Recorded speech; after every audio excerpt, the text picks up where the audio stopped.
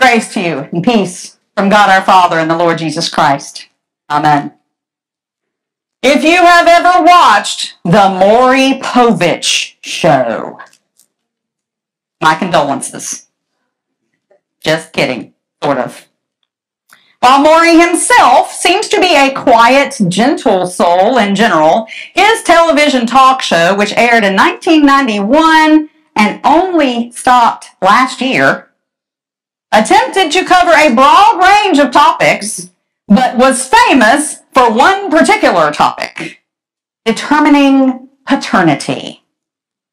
This involved bringing in women and relatives and what sometimes could be an entire bank of men, or at least several options, with the purpose of definitively pinning down which children belonged genetically to which man.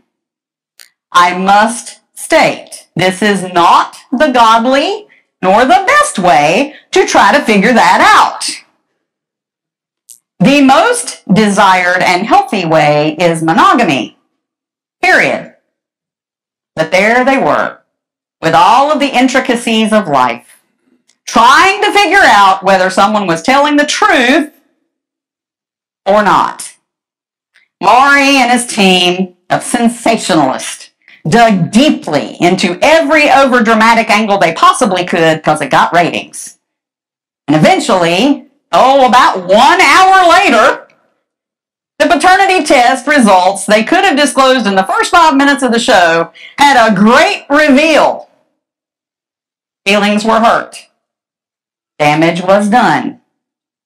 Arguments and blows ensued in the meantime because consumers apparently fed off that steamy gossip and a disturbing display of humanity at some of its worst. Guests said things for all the world to see that should have been kept private that they could never erase, but the truth came out eventually. Keep in mind that these are humans who are not divine. Trust me, today's gospel is in here somewhere.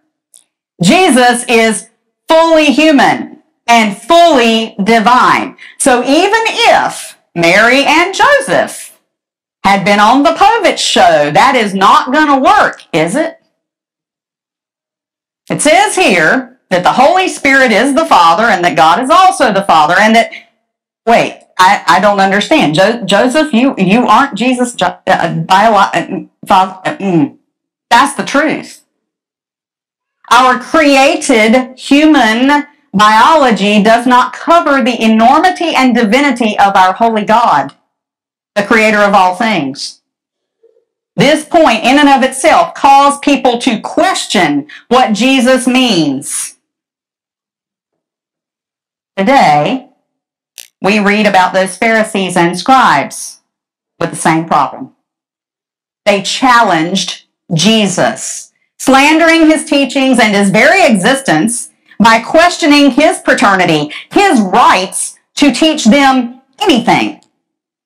You, Jesus, are illegitimate. We are Abraham's kids and we are legitimate. Who are you? Who's your daddy? so to speak.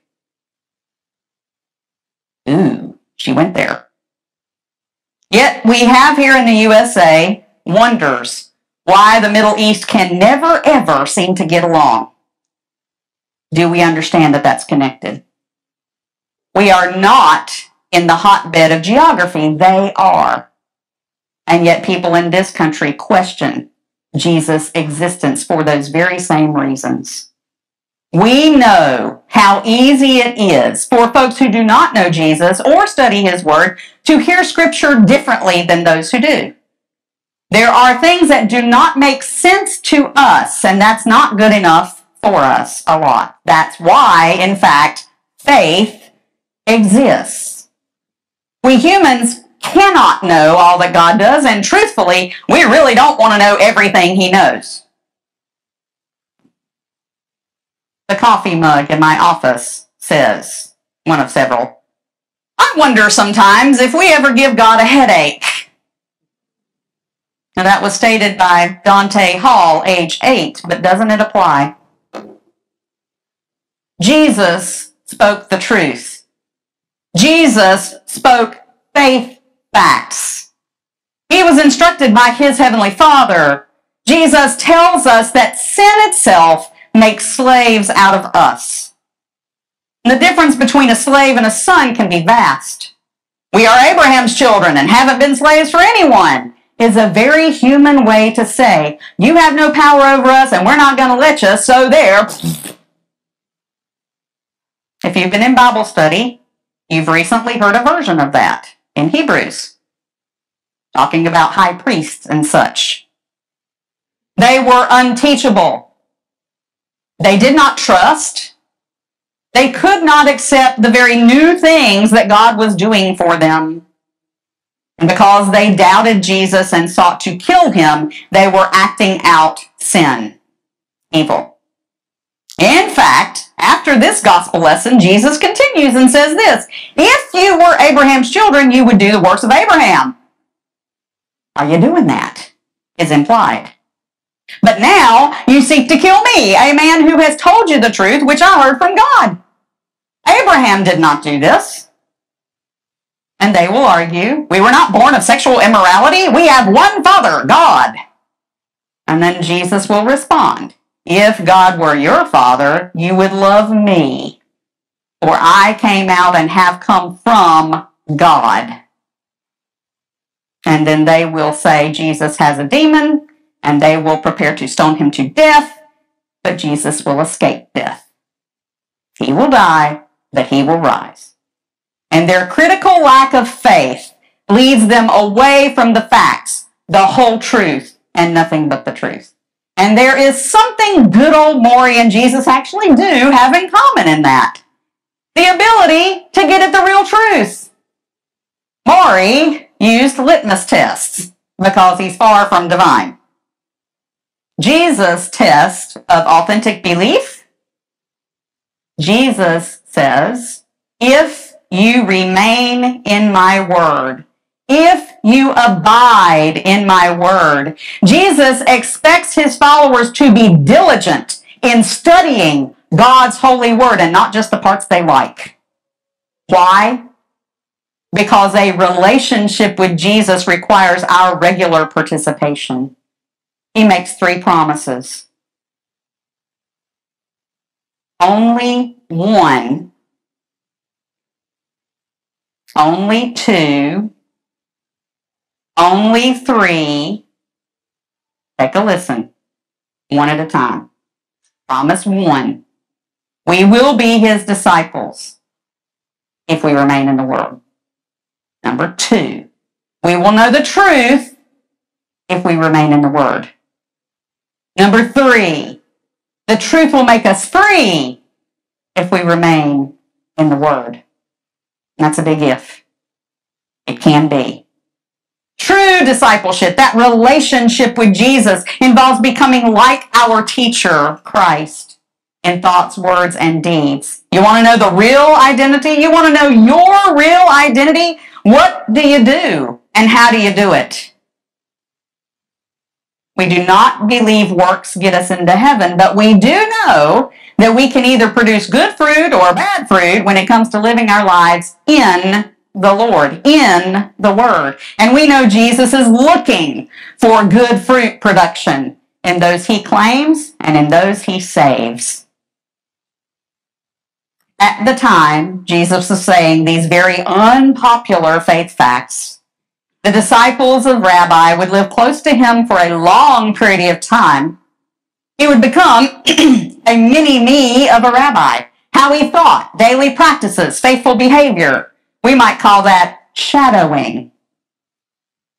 We disciples of Jesus are to become as much like him as possible. And the word from the word here is meno, M-E-N-O. I know some of you have been fishing. It's not the one with the I and two N's.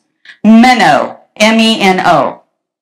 Here are examples of how Christ uses this word that means some form of life.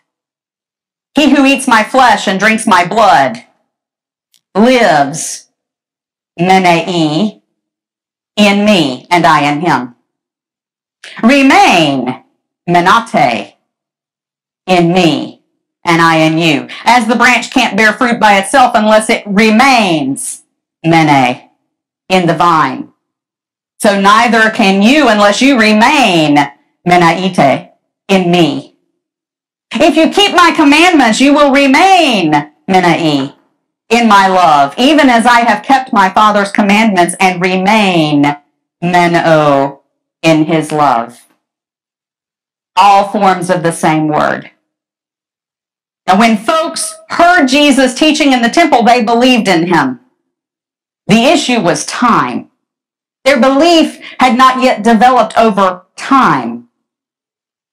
How's that get affected? Well, infatuation and initial surges of enthusiasm don't prove themselves out unless that enthusiasm continues over time and meets temptation and difficulties with the same amount of enthusiasm. The tests of faith come as disciples stick with Jesus when things are not going well.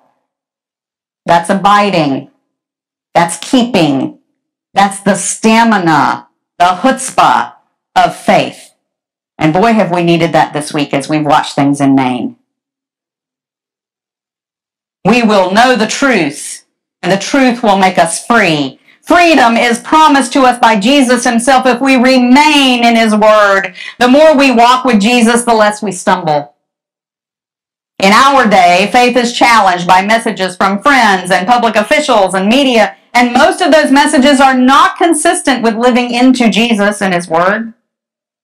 We allow ourselves to be run by worldly engines and wonder why we have little to no sense of the peace that we find when we're reading about Jesus, when we are feeling His Spirit.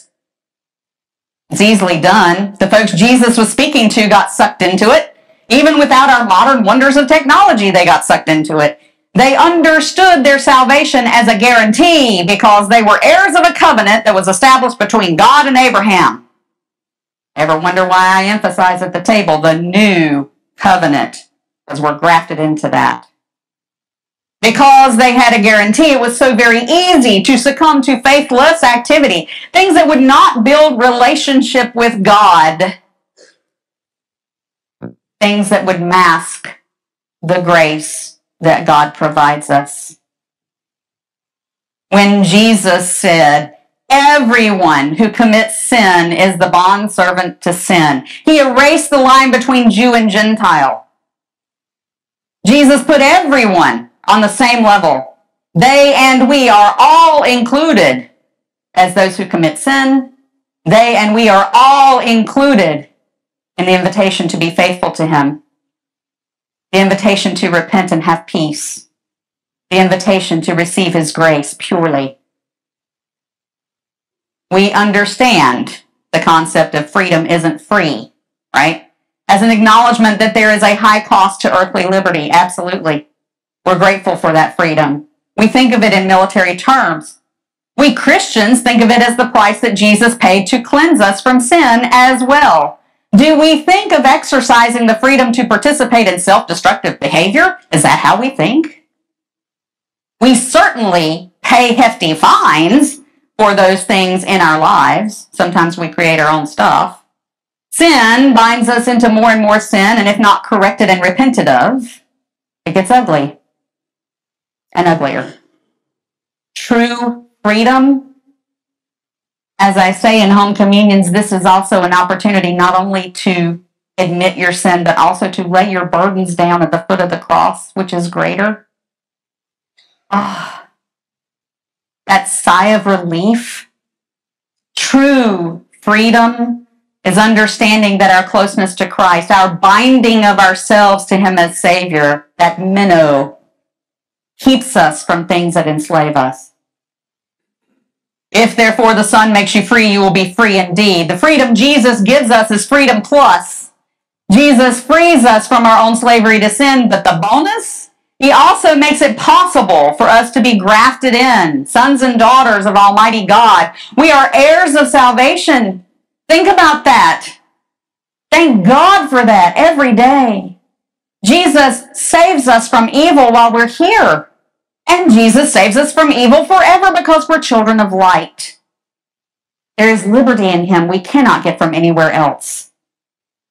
God pours out his Holy Spirit to faithful people. God keeps his steadfastness in his grace and truth.